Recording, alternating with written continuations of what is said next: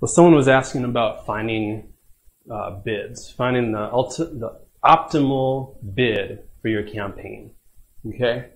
Um, there's a couple ways to kind of go about this. Um, I'll try to talk about uh, try to talk about a, a couple ways that I use, just depending on the client's strategy or what kind of data we have available. Um, so first off, to even think about trying to find the optimal bid, you need to make sure that you are tracking conversions. Okay, if you're not tracking conversions, um, optimal bid is pretty much meaningless. There's no way to find it. There's no way to know what to bid on your keywords. So if you do not have conversion tracking set up, that's where you need to start before you even think about what your optimal bid should be. You should be tracking phone calls, contact form submission, emails. If you have a chat box on your website, you should be tracking those. Um, basically anything, any action that you want someone to take, you need to be tracking it. Now, once you're tracking those, you need to then figure out what your optimal cost per, per conversion should be. Okay? So if you're trying to get leads for your business, and let's say, um, let's say you're trying to get leads for $50, okay?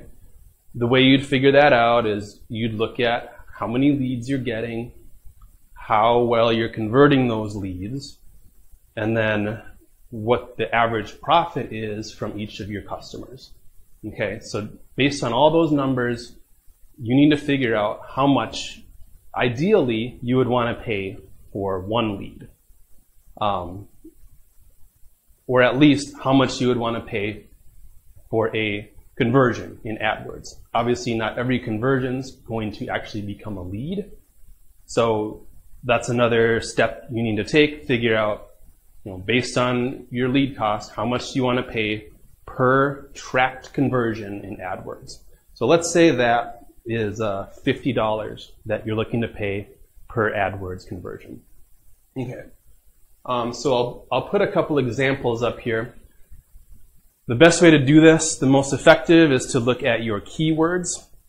Um, if you don't have enough data for a particular keyword, you can look at your ad groups um, and do the same thing that way. And if you don't have enough data looking at ad groups, you can look at the whole campaign and uh, do it that way. Well, let's let's pretend we have some keywords with some good conversion data, and we'll take a look at how we would find the optimal bid. So, um, first keyword So let's say we're spending $1 per click.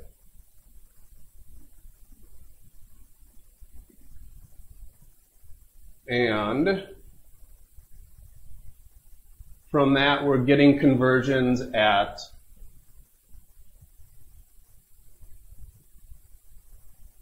$50 per conversion. Okay, so basically uh, one in 50 customers is becoming a conversion, 2% conversion rate. this $1 per click for this keyword is giving us the exact cost per conversion that we want. Okay? So, therefore, that would be the, the optimal cost per click. We don't want to change that bid.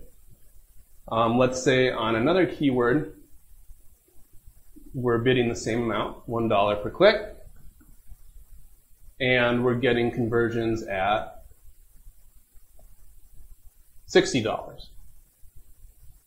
Okay, so in this case, we're paying more per conversion than we want to be. Uh, we would need to decrease this bid. Um, so I don't know exactly what the math is to get from $60 to $50. Um, but if I'm decreasing a bid like this, I don't like to do a whole lot at a time. Okay, unless this is uh, $100, $200 per conversion, then obviously we need to decrease it a lot. But if we're just overpaying for conversions a little bit, um, I'd want to decrease our bid here and try to get a, a cost per click closer to, say, 90 cents. Okay, run it at 90 cents for a while, see how the cost per conversion comes out.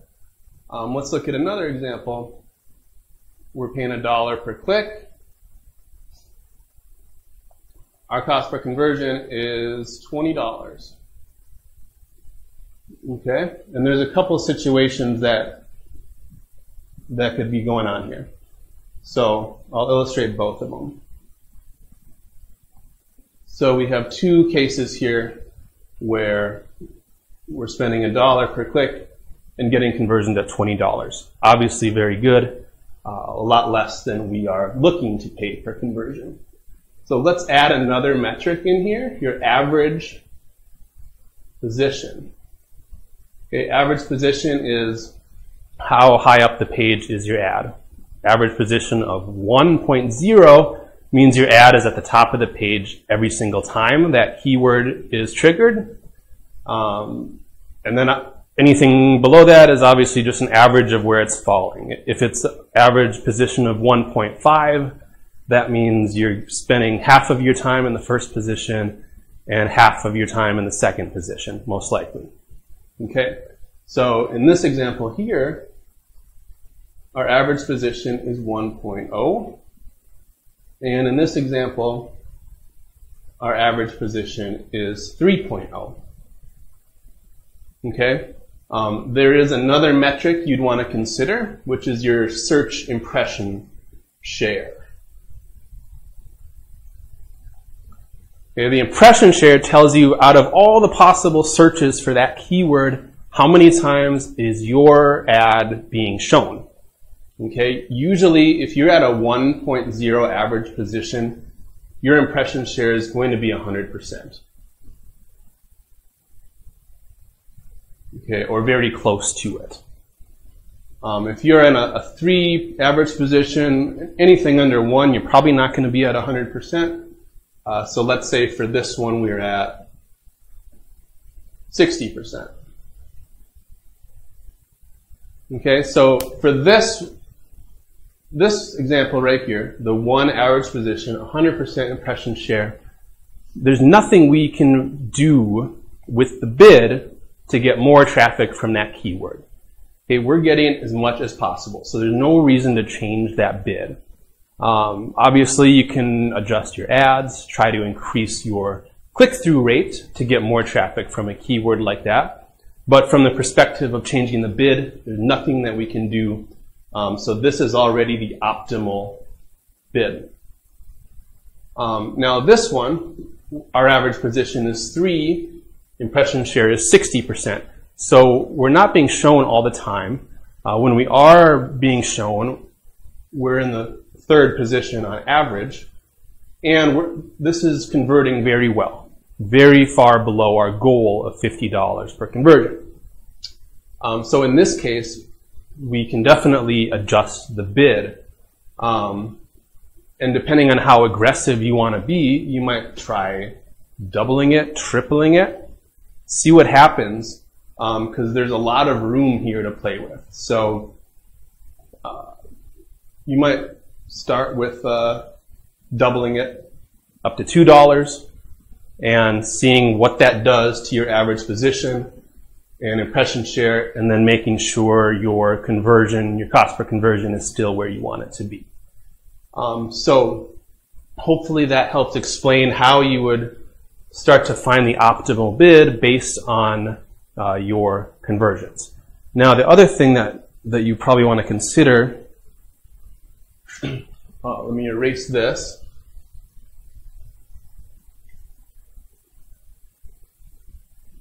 The other thing you want to consider is um, your actual profit. Okay? This is easier to do if you're selling a physical product that has a set price. Um, it's harder to do if you're a contractor or someone where every job has a different price and you're really just trying to get leads. Um, but basically, what you'd need to do is look at uh, your actual profit. So if you have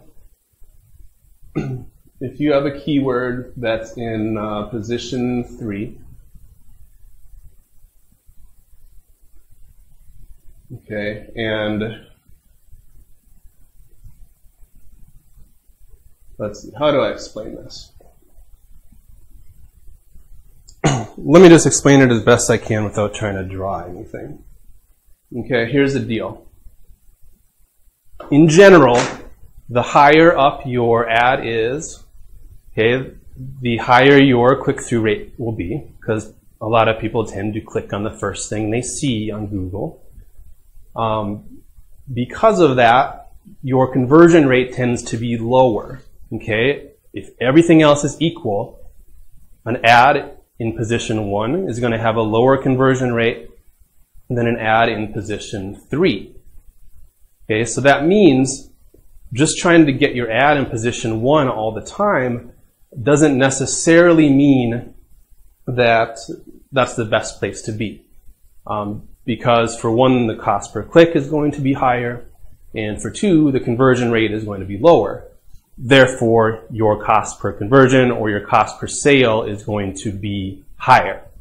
Okay, in position three, you'll have a lower cost per click and a lower cost per conversion.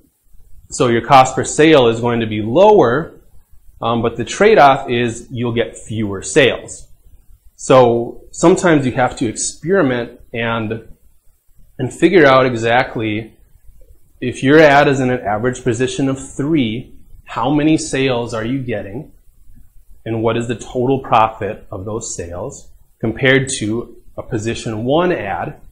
Okay, how many sales are you getting there? You're going to get more sales in position one, but your profit per sale is going to be lower. Okay, if it's too much lower, it's not beneficial to even be in position one compared to position three. Um, so that's a test you just have to run sometimes and see, um, and it could take a little while, and see if it's going to be more beneficial to bid for the, the more traffic you can get in position one, or if you're fine in position three, and if that's going to be the most, most profitable.